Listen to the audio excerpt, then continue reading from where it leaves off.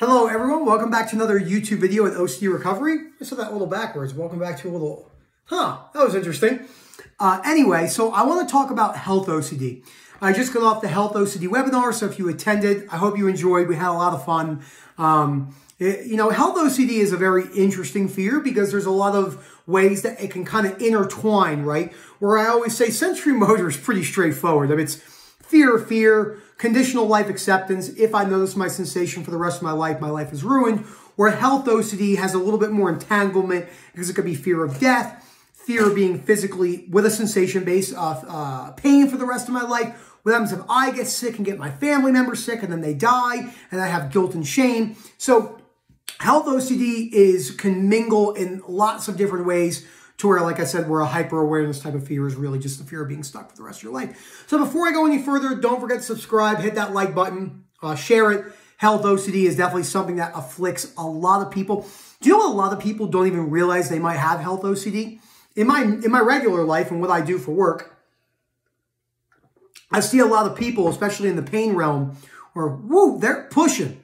They are pushing what you would definitely be considered like, okay, they have some strong irrational beliefs surrounding pain, chronic illnesses, fear of what if I notice the pain for the rest of my life?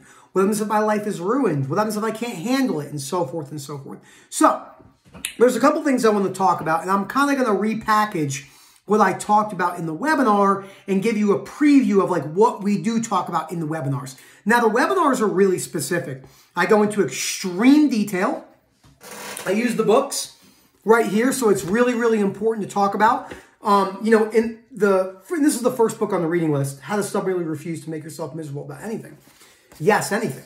This page right here is the REBT principle sheet where we break down belief systems and, you know, we apply this to ourselves when we work with other people and we, we really realize that these principles that Ellis laid out are so foundational for bringing down the fear cycle. So, you know, a lot of people say stuff like, Without compulsions, there's no OCD cycle. That's not true at all. It is a major driver, but the belief system is what drives the cycle. Now, yes, they're interconnected, but if exposures were all we needed to do and bring down compulsions, especially outward compulsions, we would just do exposures all day long and prevent the response when we recover. And we see thousands of people who have done huge exposure type getaways and stuff, made great progress, but actually haven't addressed some of the core fears which is the fear of dying, losing out in life, the fear of deservingness and fairness, the fear of getting someone else sick, so forth and so forth and so forth. So what are some of the main belief systems that are based around health OCD? Let's talk about ourselves. So the fear of dying, obviously, the fear of experiencing a physical pain for the rest of our lives, being tortured, kind of like an internal torture, never being able to recover um, from whatever disease you want to have. Then on the, on the flip side of that, what happens if because harm, contamination, and health OCD and hyper awareness really twinge together. So what happens if I get sick, I get my family member sick, contamination OCD, health for myself, they pass away, and then I feel guilt and shame because you have what's called conditional self-acceptance. I couldn't live with myself. I'm the worst person ever. I'm a terrible person. My life is horrible. Down the rabbit hole over and over and over again. So the sensations that we feel with health OCD will make it feel as real as it can. It will make it feel like we need to figure it out right now. We have to go to the doctor. I need an answer today, right now. That's how it always, always is with OCD. It will make it feel like you have to make those changes right now. Driving down the road, this is the what I use in the webinar. I use a lot of analogies and metaphors because they're really good for bringing people in and, and, and making us realize that oh, you know, like that's really how it works. Remember, the practical application of, of OCD and how it works, not really about the neurophysiology and neuroanatomy and how it's cool. I mention that in every video because a lot of people are going down those rabbit holes, especially with, with any type of fear. So you're driving down the road, you have a sensation, and you might literally schedule a doctor's appointment at the next red light, right? Don't text and drive. You you schedule the next one when you park. So you go in and you look for tests, test after test after test.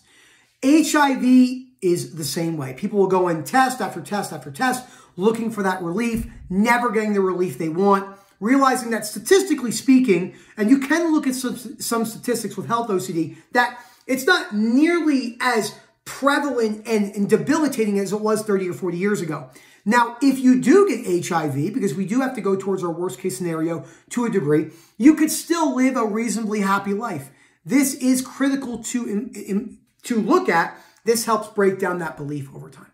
But if you're absolutely scared of getting HIV and then giving it to your partner, maybe there's some ROCD. Another example I used, let's say you have the fear of, what if I have HIV? Then the fear of giving it to someone and then that person getting HIV and then maybe passing away. So you stop having intimacy with that person. That is a compulsive behavior.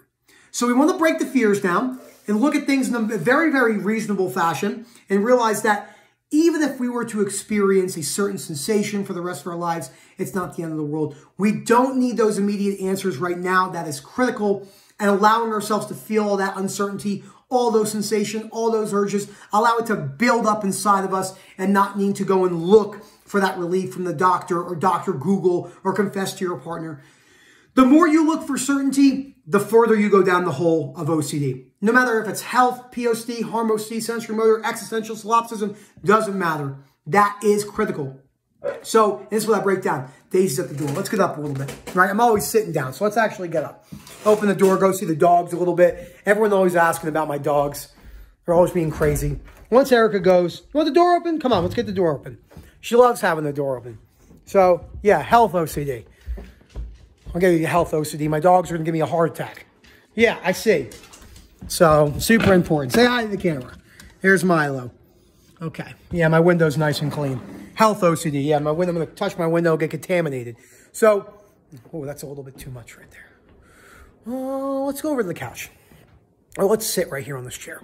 Here we go. So, super important to break all that down. The belief systems that we have are the driving factor of OCD.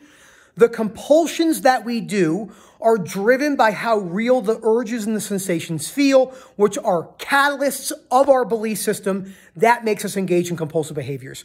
Belief systems that are intrusive, whether it's an intrusive thought, sensation, or image, drives us to create fear responses, makes us do compulsions because the urges and the sensations feel so real. Once you understand this practical application of OCD, you can go a long way in the recovery process. But if you are not addressing the breakdown of the core fears, exposures can become compulsive. Just was talking about that with someone in the webinar. Constantly looking for relief. Cancer documentary after cancer documentary. Uh, like myself, constantly reading things on sensory motor. Did this person recover? Did that person recover? Over and over and over again never actually gives you the relief that you want because you're kind of just going down that cycle over and over and over and over again until you basically are just in the rabbit hole of Dr. Google and the regular doctors and, and all that. Now, I do want to talk about that. When you go to the doctor, their goal is to make sure you don't die, especially if it's an emergency room. So it is important to realize that they're going to give you reassurance. They're more than likely not trained in OCD. Totally fine. They're not going to they're not going to understand why you're there. A lot of people I've talked to people who are very clear have some sort of health OCD, and when I talk people in real life and not one doctor has ever mentioned that to them. At the hospital, primary care, it's not their fault. It's not what they do. And they're not specialists in that. Uh, they don't work with it day in and day out like we do. So it is super important to realize that. So remember, breaking down the core of fear, absolutely critical. Doing exposures when necessary, watching documentaries. If you have a fear of death, I just was talking to someone, walk through a graveyard. It's a really good exposure. Look at the dates. See a lot of the young people in there. Life is not fair. There's no deserving this. It's important to break that down. Deservingness and fairness are one of the number one concepts that gets people into emotional turmoil, especially when health OCD is involved. Super critical. Breaking down the fear that even if you did experience a stage four cancer, it is important that you can learn something from that, from a hardship, going out and helping people and stuff like that. I hope you guys enjoyed this video. Was a little hyped up from the uh, health OCD webinar. I thought it would be a great time to uh, walk on here, walk on here, jump on here. That doesn't make sense either. Get on here. Turn it on. You know what I mean? We say words, we don't even know what they're meaning sometimes. Uh, I hope you enjoyed seeing my dogs. It's always a pleasure to talk to you. If you have any health questions, ask in the comments. Uh, I'm always going through, you know, and, uh, and talking to people and engaging. So always a pleasure. Don't forget to subscribe, hit that like button. Really good to get this out there. Um, you know, we like to take a fun approach, but yeah, the serious approach. We use compassion and empathy, but we're also pretty straightforward um, because, you know, OCD, especially health OCD, fears of dying and fear of contaminating someone else from an HIV, for an example, getting them sick, um, or an STD and then them dying doesn't really budge what some of the some of the uh, techniques that are used on the mainstream uh, recovery, um, you know, just just guidelines. So I hope you guys enjoy. And as always, have a great day.